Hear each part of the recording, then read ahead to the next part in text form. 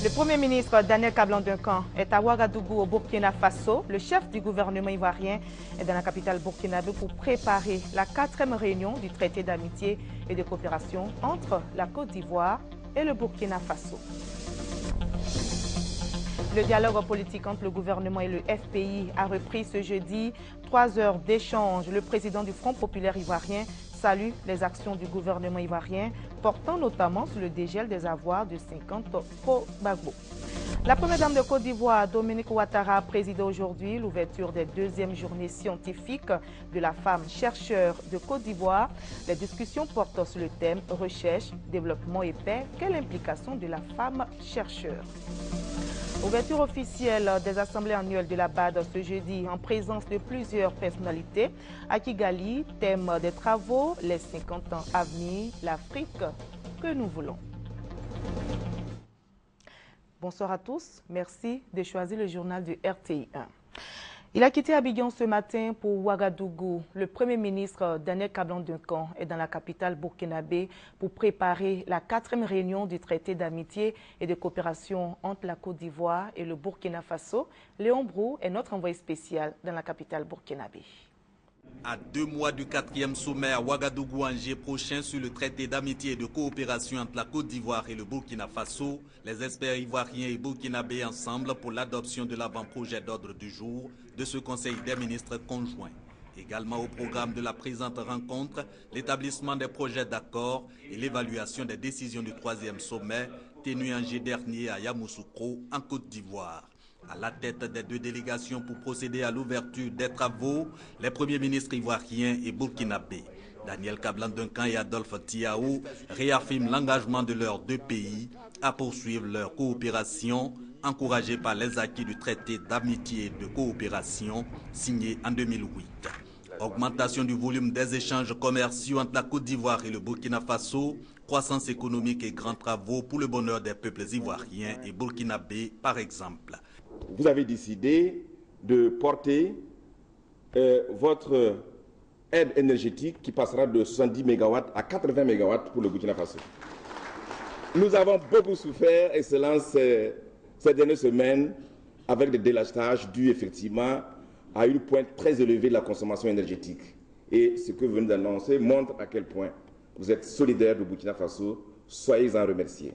Pour la coopération en matière d'énergie électrique, nous devrons faire en sorte que les fournitures d'électricité augmentent. C'est une première annonce qui a été faite. Si on peut aller plus loin, pourquoi pas On va en discuter. Et puis, si c'est nécessaire, monter davantage de manière à ce que, comme il y a l'investissement qui se développe aussi au, FASO, nous puissions euh, faire en sorte que les industries et les ménages puissent avoir de l'électricité. C'est aux environs de 8 heures ce jeudi que le Premier ministre Daniel Kablan-Decan est arrivé à Ouagadougou. Accompagné de six membres de son gouvernement, il va, en marge de cette réunion préparatoire, échanger avec les autorités burkinabè au plus haut sommet. Aussi prévu à son agenda des visites et inaugurations d'infrastructures. C'est un projet qui fait rêver et le Premier ministre Daniel Kablon-Duncan s'en est rendu compte avant son départ pour le Burkina Faso. Il s'agit du projet pour la sauvegarde et la valorisation de la baie de Cocody. Ce projet qui a été présenté au chef du gouvernement ivoirien est l'œuvre d'une structure marocaine qui a mobilisé une commission d'experts sur instruction de Sa Majesté Mohamed VI, roi du Maroc. Les explications avec Hugues Vebli.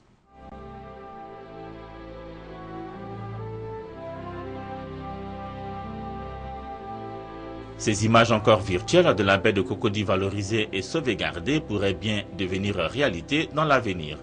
Elles sont l'œuvre de l'Agence pour l'aménagement du site de la lagune de Marchika.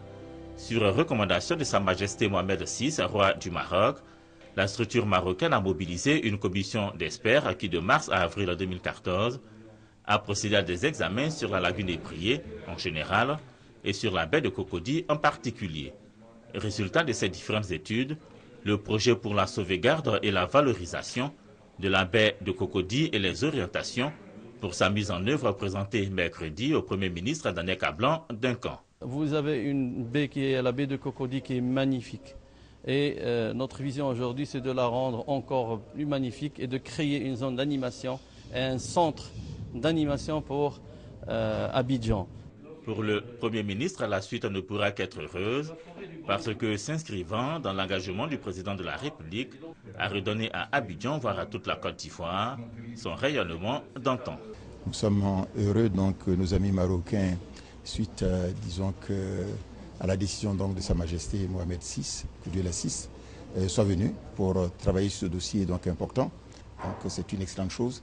Je crois qu'on va mettre en place une équipe de manière à ce que nous puissions avancer rapidement sur les propositions que nous fera donc le, président directeur général de cette société marocaine. La baie de Cocody sauvegardée et valorisée, c'est possible. Le gouvernement entend s'y employer afin que cela devienne réalité.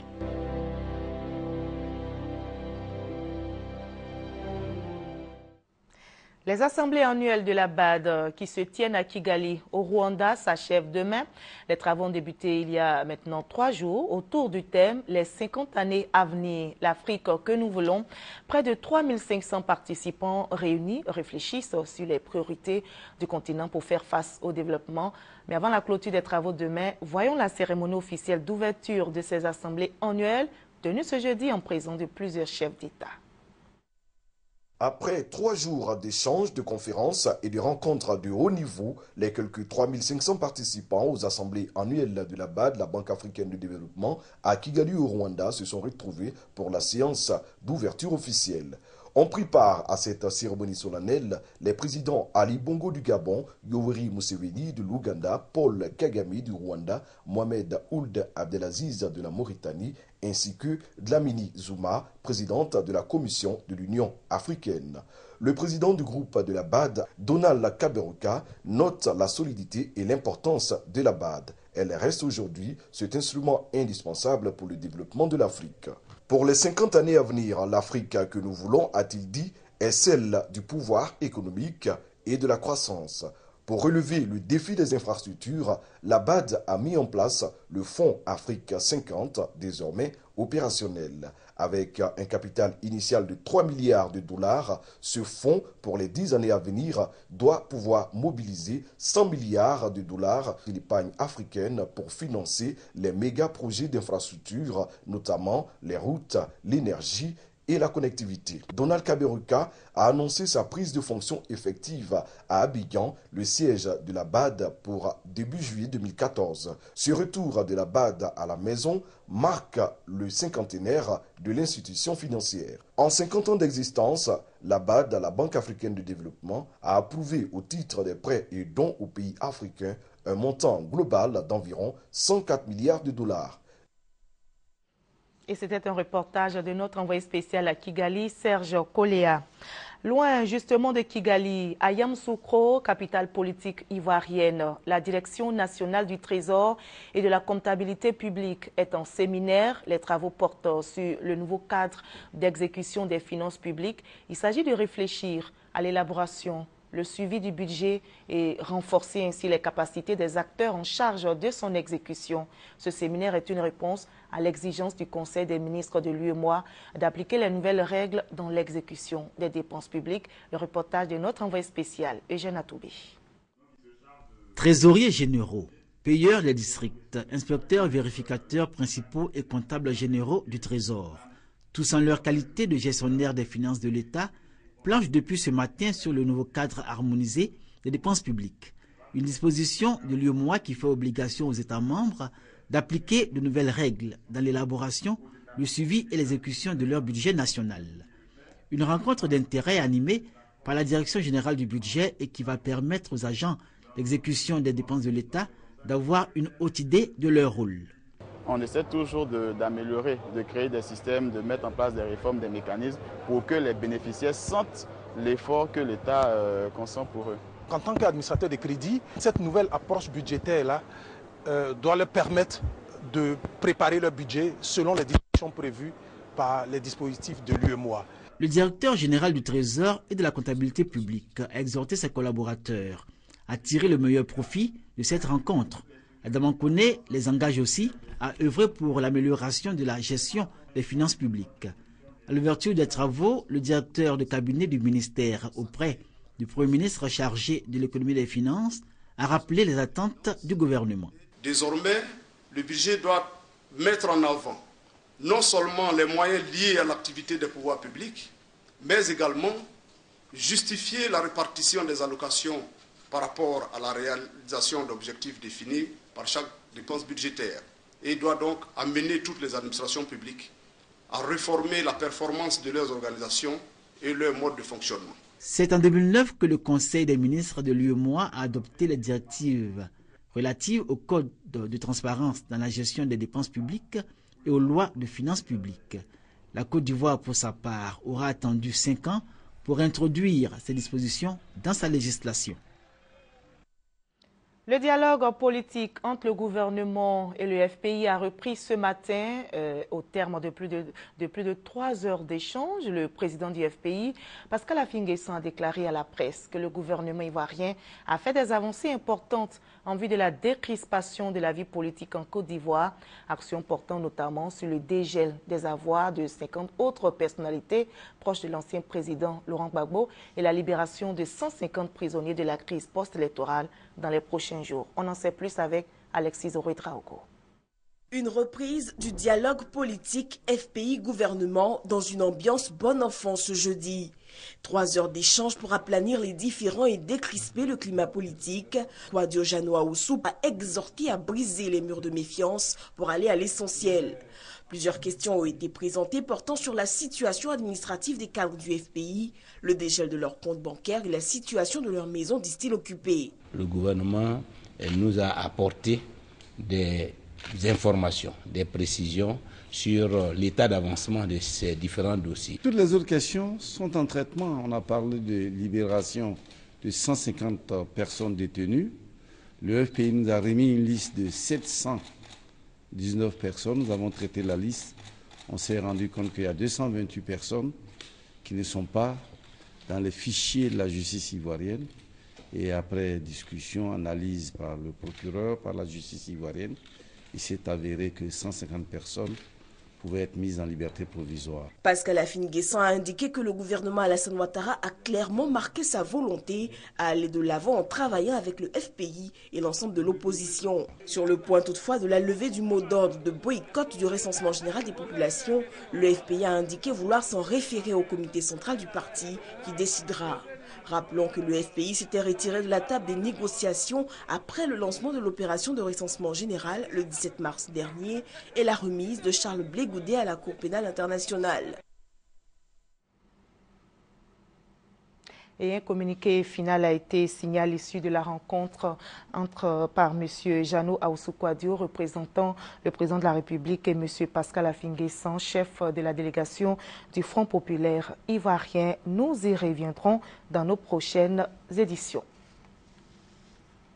Le mouvement national de soutien à la candidature unique au sein du RHDP est en campagne pour une candidature unique du président Alassane Ouattara. Le Monasco a procédé récemment à l'investiture de la présidente de l'organisation féminine de soutien au président euh, section district d'Abidjan, nous explique Abou Sanoko.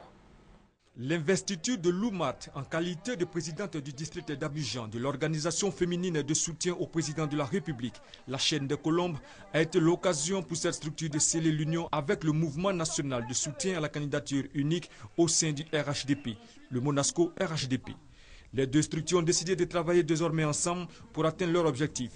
La réélection au premier tour du président Alassane Ouattara à la présidentielle de 2015. Pour Assoa Honorine, présidente nationale de la chaîne des Colombes, sa structure adhère à la vision du Monasco RHDP, à savoir la paix, la cohésion entre les Ivoiriens et le développement. Selon Pascal Kwaku Abina, vice-président du Monasco RHDP, parrain de la cérémonie, plus rien ne peut freiner l'idée de la candidature unique véhiculée par son mouvement. Le député de Marcory, Traoré Drissa, représentait le président de l'Assemblée nationale Guillaume Soro, parrain de la cérémonie.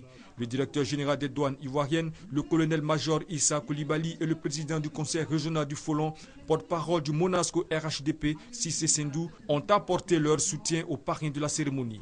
La chaîne de Colombe a été créée en 2003 pour véhiculer les messages du candidat Alassane Ouattara. Et on en arrive à l'un des grands titres de cette journée. La première dame de Côte d'Ivoire, Dominique Ouattara, a présidé aujourd'hui l'ouverture des deuxièmes journées scientifiques de la femme chercheur de Côte d'Ivoire. Les discussions euh, portent sur le thème recherche, développement et paix. Quelle implication de la femme chercheur Le reportage est signé Jérôme Kofi Aboulet. La première dame de Côte d'Ivoire à l'université Félix Houphouët-Boigny de Cocody en fin de matinée ce jeudi 22 mai 2014. Dominique Ouattara, accueilli par des acclamations des étudiants ainsi que leurs maîtres réunis à l'amphithéâtre A dans le cadre de la cérémonie d'ouverture des deuxièmes journées scientifiques de la femme chercheur de Côte d'Ivoire. L'implication de la femme chercheur dans la recherche, le développement et la paix, c'est le thème choisi pour ces journées. Il s'agit en fait pour les femmes chercheurs de Côte d'Ivoire de faire pendant ces trois jours de travaux le bilan de leurs activités. La présence de la Première Dame étant un soutien sans faille à leur cause, ces femmes chercheurs, à travers leurs représentantes, soutenues pour la circonstance par des membres du gouvernement, n'ont pas manqué de saluer cette présence de Dominique Ouattara, dont la sollicitude, selon leurs propos, n'a jamais fait défaut.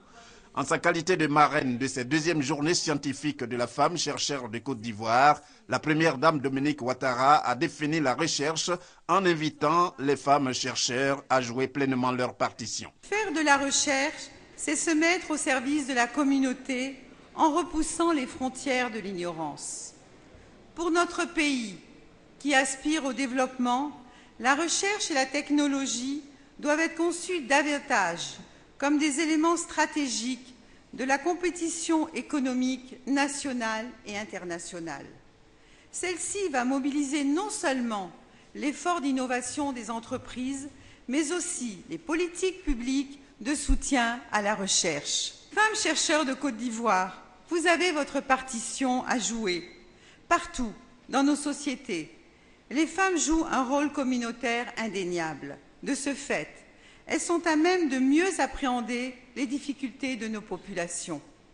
Faire la promotion de la femme chercheur, c'est conduire la recherche scientifique au port de nos sociétés et donc rendre la science accessible à tous. La première dame de Côte d'Ivoire, tout en se félicitant de la tenue de ces journées, a encouragé les femmes à conduire les travaux dans une approche du genre et dans la vision d'une Côte d'Ivoire émergente. Avant de prendre congé, Dominique Ouattara a visité les stands exposant les inventions des femmes chercheurs. Le Conseil de l'entente a 55 ans. L'organisation créée en, 1900, mai 1959, pour être plus précise, marque une pause pour faire le bilan. Le secrétaire exécutif du Conseil de l'entente, présent au grand rendez-vous de Fraternité Matin, a fait le point des actions menées par l'organisation qui a, entre autres, multiplié les conventions économiques entre les pays membres. Le témoignage de Gabriel Zani. Que devient le Conseil de l'entente 55 ans après sa création? Quel bilan, quelle perspective? Ce sont autant de questions débattues ce jeudi au grand rendez-vous de Fraternité Matin, tribune consacrée à l'institution à la faveur des 55 années d'existence célébrées le 28 mai prochain.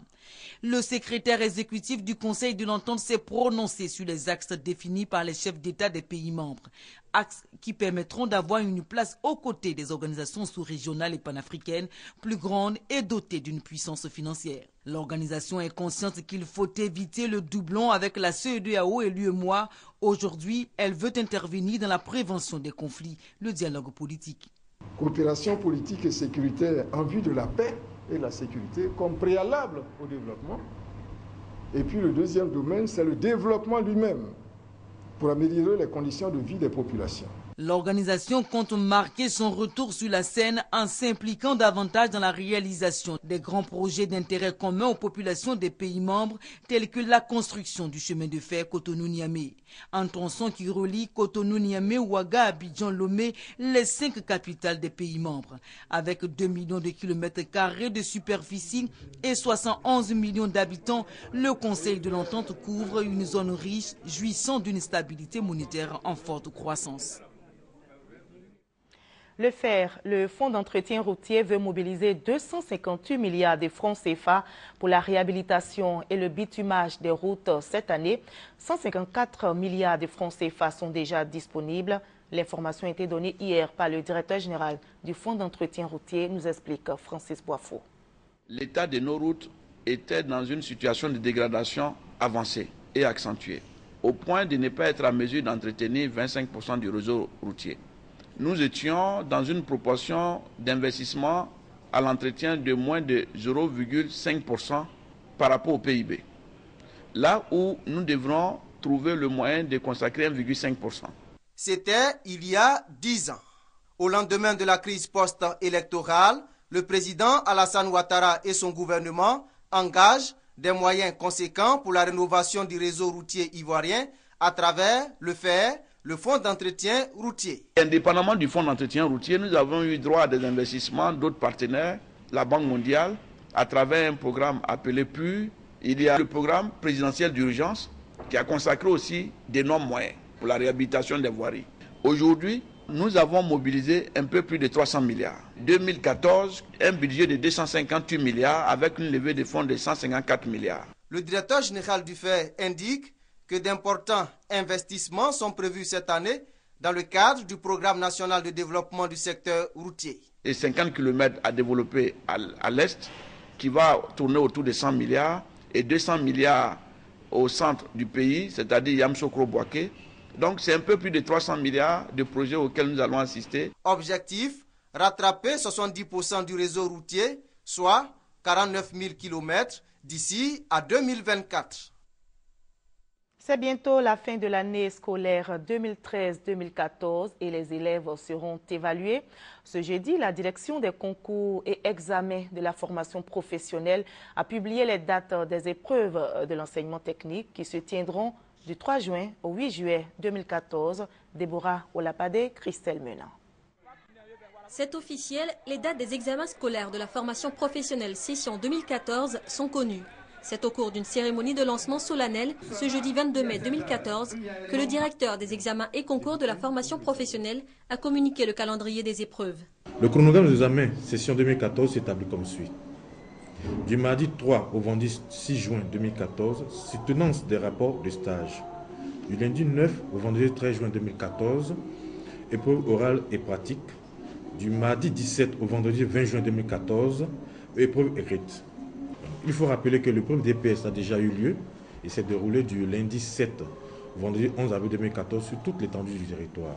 Ce sont au total 12 785 candidats qui seront présentés aux différents examens. 5 au total, ce sont le certificat d'aptitude professionnelle CAP, le brevet d'études professionnelles BEP, le brevet de technicien BT, le brevet professionnel BP et le certificat de qualification professionnelle CQP pour l'année 2014. On note 64% d'admis pour la formation professionnelle en 2013. L'Académie régionale des sciences et techniques de la mer et l'Institut portuaire d'enseignement et de recherche sont désormais partenaires. Ces deux structures ont signé une convention portant sur le développement des programmes de formation. L'Académie régionale des sciences et techniques de la mer veut développer son programme de formation. Elle a besoin d'un partenaire de référence à l'exemple de l'Institut portuaire d'enseignement et de recherche au Havre en France, les spécialistes en transport maritime, logistique et management portuaire. Pour Enrique Lozeux, ce partenariat a été rendu possible grâce à la crédibilité de l'Académie, mais aussi parce que l'institution a une longue tradition de collaboration avec 15 pays de la sous-région ouest-africaine. En tant que directeur de l'IPER, je souhaite travailler avec la RSTM parce que c'est finalement une collaboration naturelle. La RSTM représente 15 pays, si je ne me trompe pas, euh, de la, de la sous-région. La cérémonie s'est déroulée en présence de M. Alain Ouvrier, directeur du développement international à l'école de management de Normandie. La fin de la cérémonie a été marquée par la remise d'objets souvenirs et la visite des sites de l'Académie.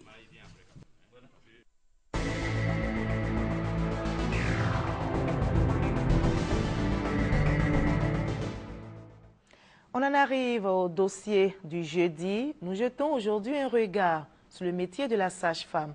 Comment exerce-t-elle ce métier Que leur reproche-t-on Le dossier de la rédaction est signé Eve Boué, Franck Wadio. Dimanche 4 mai. 0h15, maternité du complexe sanitaire Henriette Konambédier de Blocos dans la commune de Cocody. Cette dame est en travail. Elle souffre le martyr. Une heure dix minutes. Elle met au monde une petite fille de 3 kilos. Sentiment de joie. Elle a été jetée. Ce qu'elle m'a dit de faire, j'ai essayé de faire de mon mieux. Même si des fois elle a crié, c'est normal parce que moi aussi j'ai mal. Donc, elle a crié sur moi un peu, mais pas en mal, mais en bien pour mon bébé. L'émotion est vive. La sage-femme se laisse attendrir. Le métier de sage-femme, vraiment, c'est un métier que j'ai aimé et c'est vraiment ça, c'est dans Donner la vie, un véritable sacerdoce pour la sage-femme.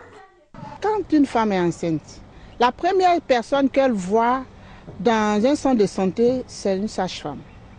C'est une sage-femme qui va lui donner des conseils, qui va la guider tout au long de la grossesse, qui va la suivre pendant l'accouchement et après l'accouchement. Consciente de son rôle dans la reproduction et la planification familiale, la sage-femme, cette professionnelle de la santé, est formée pour la prise en charge médicale des soins et services durant la grossesse, l'accouchement et la période postnatale. Pour devenir sage-femme, il faut d'abord euh, passer un concours avec le bac. Et à la suite du concours, les meilleurs sont sélectionnés. Et ces meilleurs vont entrer donc à l'INFAS, qui est l'Institut national de formation des agents de santé. La formation dure trois ans. La profession compte malheureusement quelques brebis galeuses, souvent critiquées pour les mauvais traitements infligés aux parturientes. J'ai accouché à la maternité d'Abobo. J'étais avec une femme dedans. Elles nous ont laissé, elles sont allées s'asseoir au dehors. La femme a commencé à crier, venez, venez, venez. Personne ne s'occupe. Elle a accouché seule. Ce qu'on attend des sages-femmes, ce n'est pas tellement intéressant parce qu'elles sont là pour aider nos mamans à donner la vie. Mais quand on attend que je vais à, l'hôpital, les sages-femmes ne s'occupent pas de moi, souvent elles me frappent. Vraiment, ça nous fait peur, nous-mêmes qui sommes les jeunes filles, aller accoucher. C'est des injures qu'on profère à, à, à l'encontre de nos sœurs et mères et femmes. Ma femme a accouché, elle est venue me raconter. Effectivement, c'est des injures qu'on leur adresse, telles que au moment où tu faisais la tu es obligé de le faire. Il y a des paroles qui ne doivent pas être dites, alors que la femme, elle est là, elle souffre. Elles sont insensibles voilà, face à la souffrance des, des femmes. Ma femme était en salle d'accouchement pendant qu'elles étaient à côté, en train de causer tranquillement. Elle n'encadrait pas suffisamment les femmes qui étaient sur le, le lit en train d'accoucher. Il y a un aspect aussi moral, éthique qu'il faut inculquer aux sages-femmes. Des faits réels et parfois justifiés. Des initiatives sont cependant prises pour changer la donne et accréditer les sites de formation.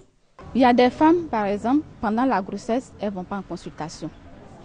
Et le jour elles viennent accoucher, c'est ce jour-là, elles prennent leur carnet. Donc pour ces gens de femmes, tu ne connais même pas le parcours de sa grossesse. Elle te parvient comme ça à, l'accouchement. Au moment du travail, elle arrive. Quand c'est comme ça, il y a des paramètres que tu ne maîtrises pas. Les sages-femmes, il faut les comprendre. Ce qu'on leur repose, je ne dis pas que c'est bon. Il faut reconnaître que souvent, elles sont stressées, souvent, elles sont débordées, quand ils sont dans un centre où le centre n'est pas bien équipé, ce n'est pas tout, le monde qui sait se maîtriser. Nous donnons des conseils à nos jeunes sœurs comment recevoir les femmes dans leur centre de santé, comment accueillir les dames qui sont déjà, qui souffrent déjà, qui sont en travail et qui sont anxieuses, qui sont stressées, comment les accueillir? La population a un regard méfiant vers la sage-femme. Donc il faut renouer Hein, cette confiance-là. Il faut que la sage-femme quitte les murs de la salle d'accouchement pour aller vers la communauté, pour leur expliquer ce que c'est que la sage-femme, qu'est-ce que la, population doit attendre d'elle. L'une des meilleures choses à faire, c'est que les sites de formation soient accrédités. Et nous sommes donc en train de prendre des dispositions pour que désormais, pour qu'un site puisse former, il faut qu'il y ait des compétences au niveau des sites. Désormais, c'est sur la base de critères bien choisis, des critères de qualité, des critères d'accréditation que nos étudiantes sages-femmes vont être affectées pour être formées de sorte que demain, les sages-femmes qui sont formées soient de véritables sages-femmes avec des capacités, avec des aptitudes, avec des attitudes, avec une moralité qu'on peut conseiller et avec donc une compétence avérée. Chaque année, dans le monde, 290 000 décès maternels et 3 millions de décès néonataux pourraient être en partie adressés en optimisant la profession du sage-femme. La Côte d'Ivoire en compte 3 000. Et c'était le dossier de la rédaction proposé par le service Société de la rédaction. Au Mali, la situation dans le nord prend une autre tournure. Hier à Kidal, l'armée malienne qui a lancé une offensive dans la matinée a été obligée de se replier, battue par les groupes du nord. Le MNLA qui affirme contrôler Kidal désormais annonce par ailleurs une reprise en main de plusieurs autres villes du nord du pays. Le mouvement national de libération de l'Azawad avance qu'il ne veut pas la guerre, mais que cette avancée militaire signe un nouveau rapport de force en vue des futures négociations. Les autorités maliennes qui privilégie le dialogue en appelle au soutien de la force Sangaris.